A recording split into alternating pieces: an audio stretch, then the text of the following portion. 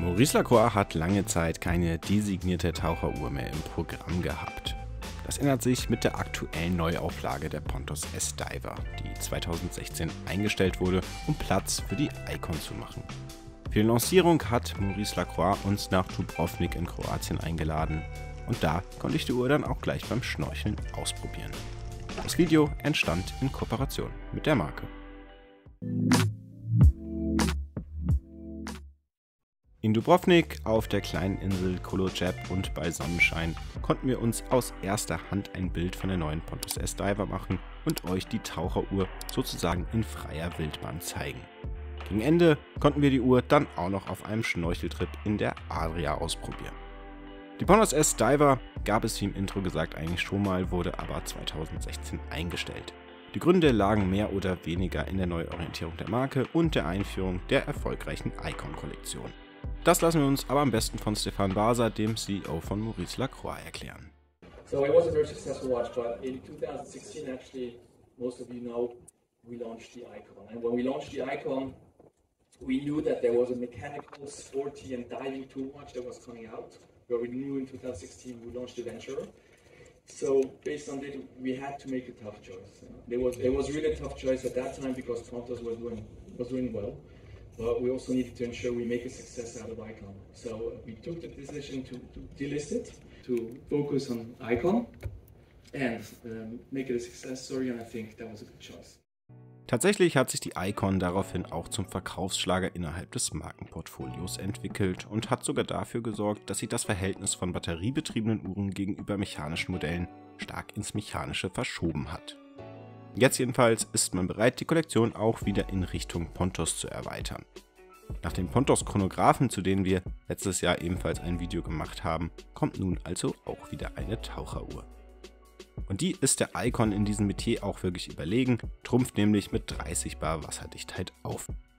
Gleich in zwei permanenten Stahlvarianten und einer limitierten Bronzeversion mit blauem Zifferblatt erlebt die Pontos S-Diver nun ihr Comeback. Das stählerne Kollektionsmodell ist mit Zifferblatt in Schwarz oder Weiß erhältlich.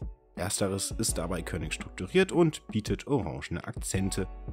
Die Variante in Weiß dagegen erhält ein glatt lackiertes Zifferblatt mit blauen Akzenten.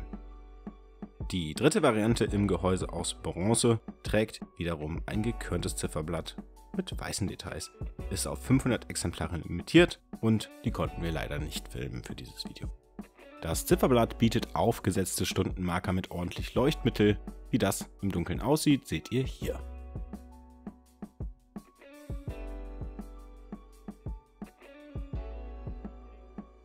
Die innenliegende Drehlünette wird mit der Krone auf 2 Uhr verstellt. Dabei rastet sie nicht oder kaum, ist also stufenlos einstellbar und das in beide Richtungen. Beim Verschrauben der Krone wird sie sicher festgestellt.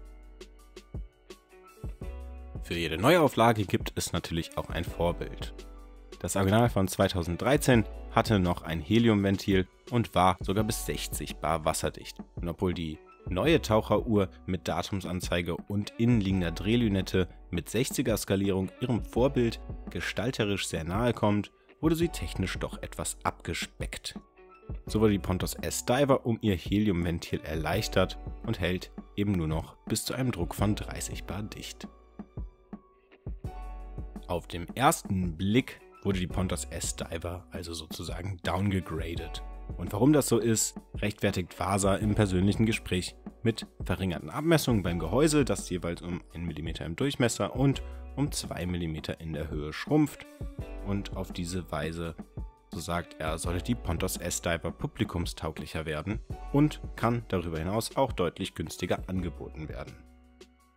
So denkt Maurice Lacroix, eine größere Zielgruppe anzusprechen und geht wohl davon aus, dass der Preis ein größeres Kaufargument als die absolute Profi-Ausstattung ist. Denn ansonsten, so erklärt es uns Stefan Vasa, wäre die Uhr rund 1500 Euro teurer geworden. Die beste Figur macht die Pontos S-Diver mit ihren auffälligen Farben aber tatsächlich in der Sonne und vor einem maritimen Hintergrund. Und obwohl es mich etwas Überwindung gekostet hat, habe ich die Pontos S-Diver dann auch noch mit in die Adria genommen, auf Schnorcheltour. Zugegebenerweise in Ufernähe und in geringen Tiefen. Bei 300 Metern Wasserdichtheit war das natürlich keine Herausforderung für die Taucheruhr. Für mich allerdings schon etwas, immerhin musste ich das Ganze ja auch filmerisch festhalten. Zum Glück gibt es dafür aber diese coolen Aufnahmen unter Wasser mit Fischen und Felsen. Ich hoffe, für meinen Einsatz habe ich mir euer Abo und einen Daumen nach oben verdient. Ein Link zur Uhr gibt's in der Beschreibung. Schaut doch mal dort vorbei. Vielen Dank jedenfalls fürs Zuschauen und bis zum nächsten Mal.